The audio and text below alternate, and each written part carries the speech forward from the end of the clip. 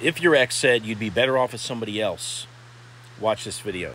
Hey, I'm Coach Benny, and I help people get their exes back. And before I did this, I was a dating coach for five years where I had to pay a lot of attention to how to create attraction in other people. And I used that experience to help you get your ex back. Now, think back to the course of your relationship. If you've had past breakups, or even maybe in the beginning, your ex might have been having some doubt or they had an emotional breakdown where they were giving you statements of low self esteem. Maybe they said something like, hey, you'd be better off with somebody else. Or maybe they said, you know, hey, I tend to run away and hurt people. They might have said, hey, you're too good for me. I don't see what you what you see in me.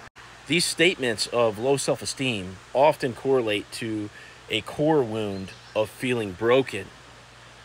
And that is what the dismissive avoidant, the person with the dismissive avoidant attachment style, feels. And so when they're saying things to you like, hey, you'd be better off with somebody else, or I can't give you what you need, etc., what they're saying is is that I don't feel good enough. And, you know, at some point, this relationship is going to come to a crashing halt because I'm not going to be able to come to grips with what you're putting in versus what I'm putting in, etc.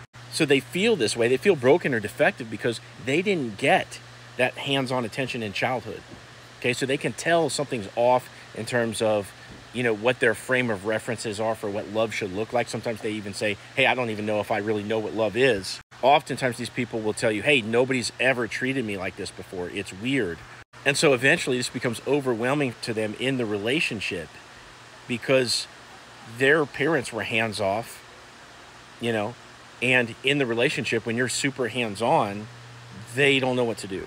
So as a partner to an individual with a dismissive avoidant attachment style, you know, you're going to have this idea that, hey, I'm going to be the one to love you. I'm going to be the one to show up. I'm going to save you. And I'm going to prove to you that you're worthy of love for the first time. And while that's a super noble cause, okay, it is. It is. It's a beautiful thing, right? To give that much. But it's also going to bite you in the ass because that level of emotional intimacy scares the person that's been emotionally neglected in childhood.